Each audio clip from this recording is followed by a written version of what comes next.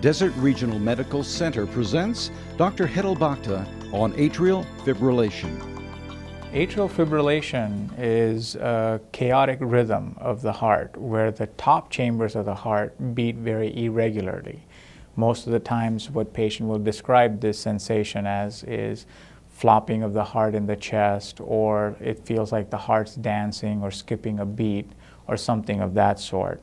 Some patients describe it as the food getting stuck in the middle of the chest because the top chambers of the heart are right in front of the esophagus, which is the food pipe. And when they're beating very erratically, that's the sensation you get.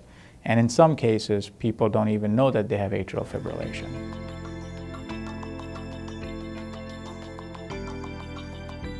With atrial fibrillation, the biggest problem is that people don't realize it sometimes that they have this condition. And when you have this problem, there are a couple of different issues that can occur. So the primary problem in atrial fibrillation is that the top chambers of the heart, which normally squeeze with every heartbeat, no longer squeeze, they just quiver. When they quiver, the blood doesn't move very well. When that happens, two things occur. Because they're not squeezing and pushing the blood down into the pumps of the heart, the ventricles, which are the pumps of the heart, don't fill properly if they don't fill properly, they can't really pump the blood because if it's not there, it's not going to make it out to the body. So you lose some degree of your heart's pumping capacity. The other more problematic issue that people run into is that when the blood is not moving, it tends to develop blood clots. And those clots can dislodge at any point, and depending on where they go, they can wreak havoc. Meaning, if they go in the brain, you'll end up with a stroke. If they go in the heart, you get a heart attack, so on and so forth.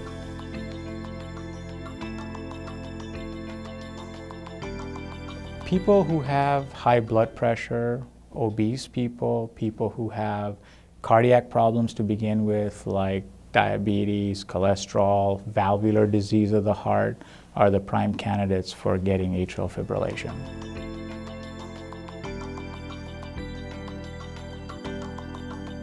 So for atrial fibrillation, there are two ways of managing it. One is we can manage it with medications, which you have to take lifelong, and studies have shown that they're not very effective. In fact, in some cases, they're even more harmful than beneficial.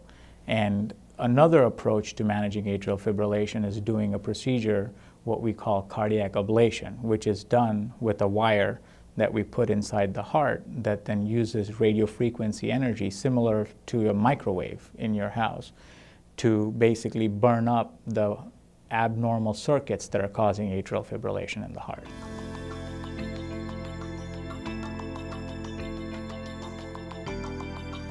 As the technology gets better and better with catheter ablations, we are getting more precise and more accurate in terms of burning the abnormal circuits. Stereotaxis is a robotic navigation tool that uses magnetic energy, similar to what an MRI does. So basically, we're going to put this wire inside the magnetic field, which will help guide the wire. The benefit of this is it is more precise than what a manual ablation can do and more effective because the catheter remains more stable during the process of this thing.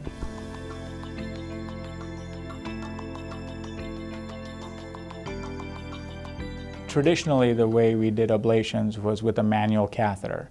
Now with the manual catheter, we can deflect the catheter in one direction or another, and we can twist the catheter around as best as we can. The problem is we're moving the catheter from outside the leg area. So there's a lot of transmission of that. That allows a restricted amount of motion because there's only so many ways the catheters can be tweaked or torqued into.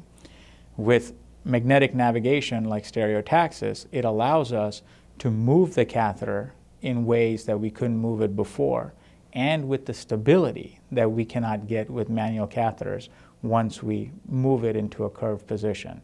That allows us to deliver better lesion sets, which allow us to specifically target things that we wouldn't be able to get to before in a manner of more stability and more precision than it was before.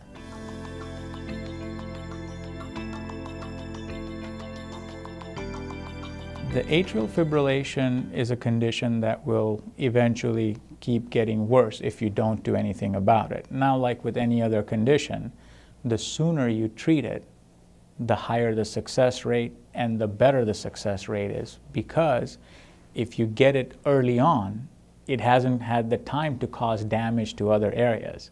So the sooner you get in to see your physician and get guidance on what the best approaches are, whether it's medication or it's ablation, that would be the right time to treat it.